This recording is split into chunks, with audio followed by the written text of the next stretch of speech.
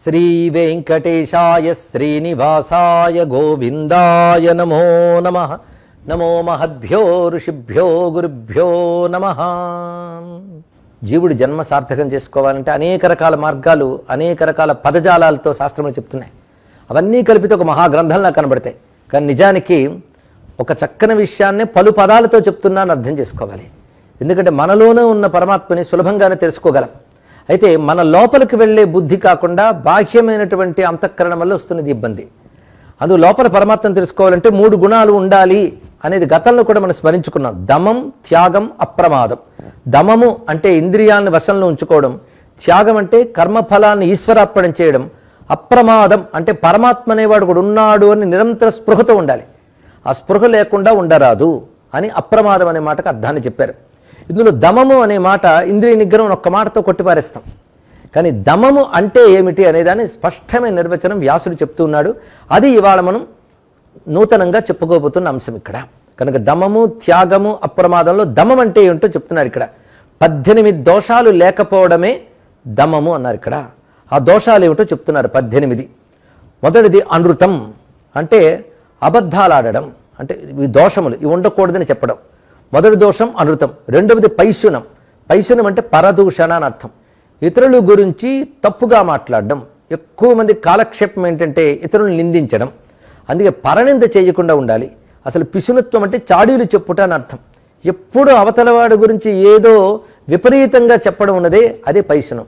అది లేకుండా ఉండాలి. కనుక రెండవ దోషం పైశునం. మూడవది తృష్ణ. తృష్ణ అంటే విషయాభిలాష. విషయములు కావాలనే తీవ్రమైన ఇచ్చని తృష్ణ అంటారు. ఇక నాలుగవది ప్రాతికూల్యం. ప్రాతికూల్యం అంటే అందరికీ వ్యతిరేకంగా జీవించడం. ఎవరూ పడరు అన్నట్టు కొందరు ఉంటూ ఉంటారు. ఇంకొకడంటే గిట్టదు. అలాంటి దుర్లక్షణం పేరు ప్రాతికూల్యం. ఇక తర్వాత దోషం తమము. తమం అంటే అజ్ఞానం. ఇతరులు చెప్పినా కూడా తెలియకపోవడం అనే అజ్ఞానాన్ని తమస్సు అంటారు. తర్వాత అరతి. అరతి అంటే దేని యందు తృప్తి అనేది లేకుండా ఉండడమే అరతి. తృప్తి చాలా గొప్ప గుణం. తృప్తి అనేది లేకుండా జీవిస్తే అది ఒక దోషం అవుతుంది ఇక్కడ తర్వాత లోకద్వేషం. అంటే జనుల పట్ల ద్వేషబుద్ధితో ఉండడం వాళ్ళ ఉద్వేగం కలిగేటట్టు ప్రవర్తించడం అంటే ఇతరులకు బాధ కలిగేటట్టు ప్రవర్తించడం. తర్వాత అభిమానం. అభిమానం అంటే అణకువ లేకుండా ఉండడం ఒకటి ఏదో ఒకటి కోరుకొని దానికోసం పట్టుదల పట్టడం కూడా అభిమానం అనిపించుకుంటుంది. ఆ తర్వాత వివాదం. వివాదం అంటే ఏదో ఒక నెపంతో జనులతో కలహించడం. కొందరికి వాదాలు భలే సరదా. ఈ కలహప్రియత్వం అనేది ఒక దోషం అని చెప్పబడుతుంది. ప్రాణిపీడనం. ప్రాణిపీడనం అంటే తన దేహాన్ని పోషించడం కోసం ఇతరుల్ని హింసించితే దాని ప్రాణిపీడనం అంటారు. ఇది కూడా ఒక దోషం. పదకొండవది పరివాదం.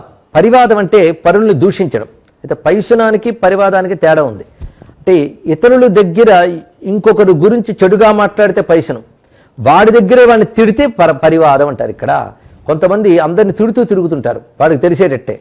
దానిని పరివాదం అంటారు. అంటే వాడి దగ్గర వాడిని తిడితే పరివాదం ఇంకొకటి దగ్గర వీడిని తిడితే పైసనం అది రెంటికి తేడా. ఇక అతివాదం. అతివాదం అంటే వ్యర్థంగా మాట్లాడుట అని అర్థం. అనవసరపు మాట్లాడడాన్ని అతివాదం అంటారు. తర్వాత పరితాపం. పరితాపం అంటే వృధా దుఃఖ చింతనం అని అర్థం. అంటే ఎప్పుడు దేనికో ఒకదానికి దిగులు పడుతూ ఉంటాడు.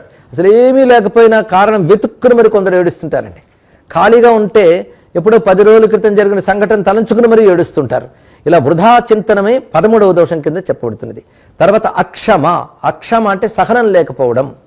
అధృతి. అంటే మనస్సు చపలత్వంతో ఉండడం ధైర్యం లేకపోవడం అని అర్థం. ఇక అసిద్ధి. అసిద్ధి అనే మాట చాలా గొప్ప విషయం. అంటే సిద్ధి లేకపోవడం ఒక దోషం.